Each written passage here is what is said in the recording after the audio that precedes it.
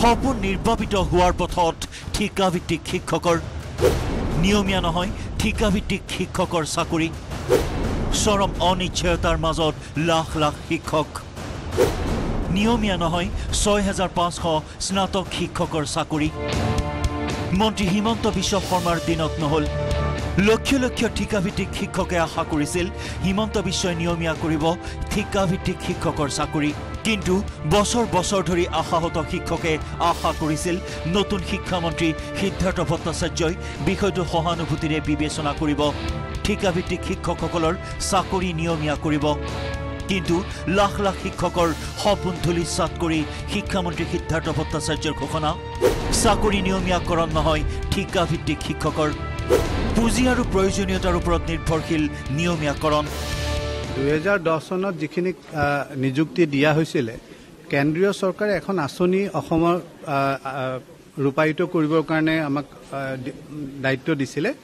আৰু সেই আঁচনি ৰূপায়ণ কৰিবৰ বাবে আমাক কিছু শিক্ষকৰ দৰকাৰ হৈছিলে। সেইকাৰণে তেখেতসকলক ঠিকাভিত্তিক দিয়া হৈছিলে। এতিয়া নিয়মীয়াকৰণৰ ক্ষেত্ৰত আপোনালোকে এটা কথা স্বীকাৰ কৰিব যে চৰকাৰে চৰকাৰৰ হাতত কি পুঁজি আছে আৰু কি প্ৰয়োজন আছে? এই দুইটা সাপেক্ষেহে আমি নিযুক্তি দিব পাৰোঁ।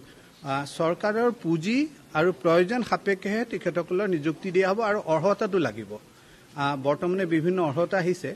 অৰ্হতা সম্পন্ন শিক্ষককহে আমি প্ৰয়োজন আৰু পুঁজি সাপেক্ষে নিযুক্তি দিম।